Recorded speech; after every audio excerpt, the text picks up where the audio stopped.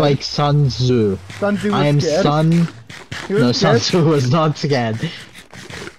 You, was you know what- who Sun Tzu is? Yeah, he was He's like the Chinese. Mahatma Gandhi. You can't, you can't, you He can't, He infamously fought against the British and got Chinese independence.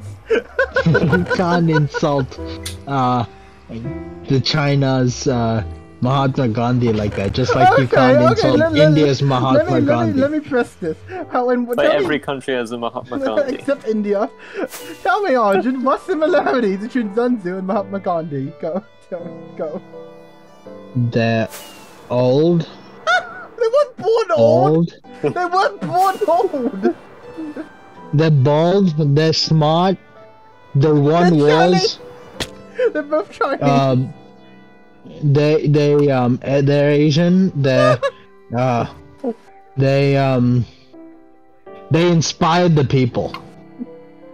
so does syphilis. Uh, is syphilis like Mahatma Gandhi? That's a disease. Your Who gets inspired by a disease? People who want to solve the disease.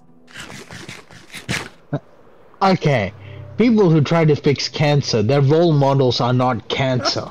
Mine would be. Yeah. That's why you're not a cancer fixer. Yeah, I know. It's why they Cancer explicitly fixer, banned that's- me. They banned me from fixing cancer. Like, I just Yeah. think ivermectin will fix it. I don't know what that is, but Ivermectin sure. is an anti um,